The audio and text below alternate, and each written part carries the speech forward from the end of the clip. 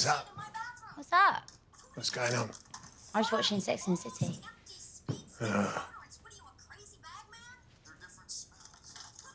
Oh, enjoy. I'm gonna read. Cool.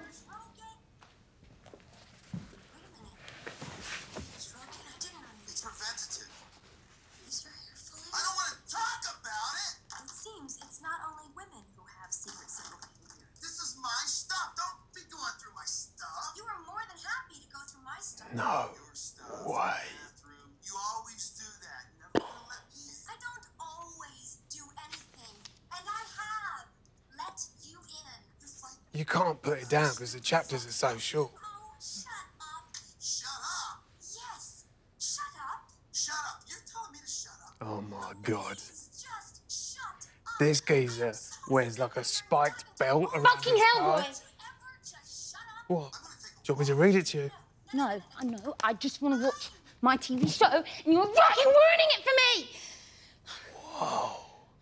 Just need some time without you reading or turning me on or just fucking being there all the time. You don't want me to turn you on? No, I. Yes, I do. Sometimes, just not all the time. Sometimes I need to be by myself.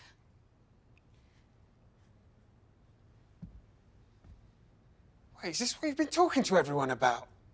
Yeah, but you don't care. I didn't, and I thought it was the usual stuff like gossip or how much hair I leave in a drain.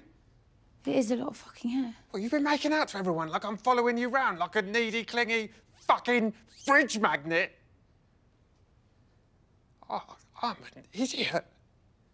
Oh, fuck this!